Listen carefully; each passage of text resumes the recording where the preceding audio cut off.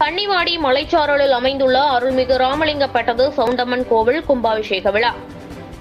திண்டுக்கல் மாவட்டம் மேற்கு தொடர்ச்சி மலை அடிவாரம் கன்னிவாடி மலைச்சாரலில் அருகே அமைந்துள்ள அருள்மிகு ராமலிங்கப்பட்டது சவுண்டம்மன் ஆலய அஷ்டபந்தன மகா கும்பாபிஷேக விழா நடைபெற்றது. கும்பாபிஷேக விழாவின் முதல் நிகழ்வாக விக்னேஸ்வர பூஜை புண்ணியக வாசனம் சம்ரோஷனம் விமான கலசம் சுவாதித்தல் மற்றும் அதனைத் தொடர்ந்து முதல் கால யாக பூஜை மங்கள ஆர்த்தியுடன் நடைபெற்றது. அதனைத் தொடர்ந்து சவுண்டம்மனுக்கு இரண்டாம் கால ஹோமம் மூன்றாம் கால ஹோமம் நடைபெற்றது. பின்னர் ஞாயிற்றுக்கிழமை காலை ஒன்பது முப்பது மணியளவில் பாலகணபதி ராமலிங்கேஸ்வரர் பாலமுருகன் கருப்பராயன் கன்னிமார் மகேஸ்வரி மூலஸ்தான சௌடேஸ்வரி அம்மன் ஆகிய தெய்வங்களுக்கு மகா கும்பாபிஷேக விழாவும் அதனைத் தொடர்ந்து அன்னதானமும் நடைபெற்றது.